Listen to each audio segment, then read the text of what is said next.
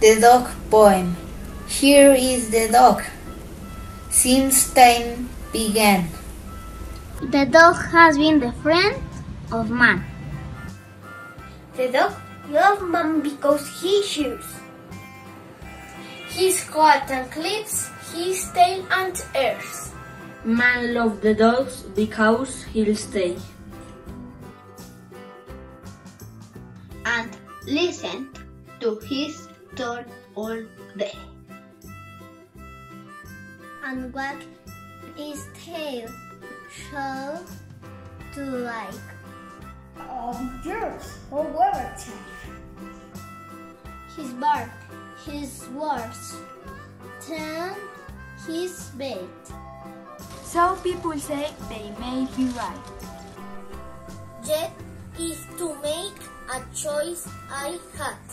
I choose his bark however bad.